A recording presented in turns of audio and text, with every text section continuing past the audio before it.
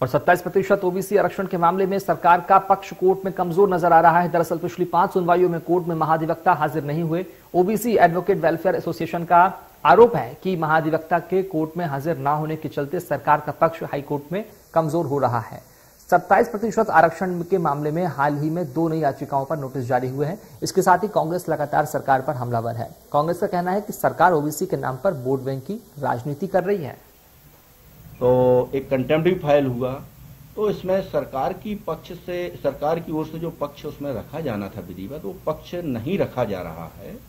जैसे 12 तारीख को सुनवाई हुई 8 नवंबर को सुनवाई हुई 15 नवंबर को सुनवाई हुई, एक केस की 22 नवंबर को सुनवाई हुई, एक केस की अभी 24 तारीख को सुनवाई हुई। इन समस्त प्रकरणों में मध्य प्रदेश शासन की ओर से पक्ष नहीं रखा गया।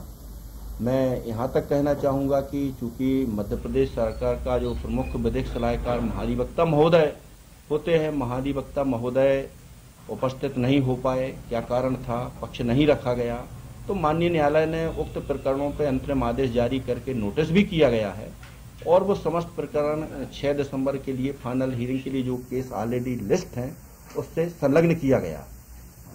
ये एक राजनीतिक मुद्दा है, भारतीय जनता पार्टी की सरकार के लिए। लगभग लगभग लगातार 2003 के बाद अगर हम देखें तो 17-18 साल से भारतीय जनता पार्टी के मुख्यमंत्री मध्य प्रदेश में हैं।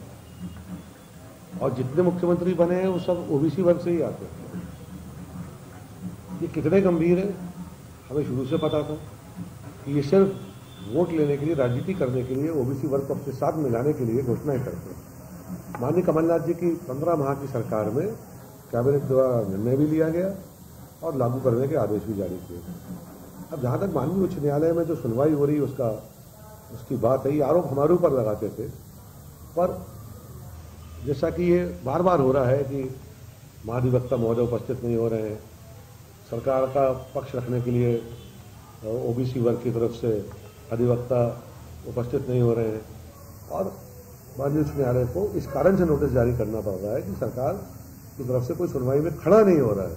इससे दुर्भाग्यपूर्ण और क्या बात हो सकती है? ये तो सिर्फ़ झुंझुना हिलाते हैं, जुमलेबाजी करते हैं और काम करने की ना इनकी मंशा पहले थी, ना है। और हम हमेशा लगातार ये कहते हैं, कोई भी ऐसा मौका जब आता है जब किसी सरकार केंद्र के स्तर पर भारतीय जनता पार्टी की या राज्य के स्तर पर विफल होती है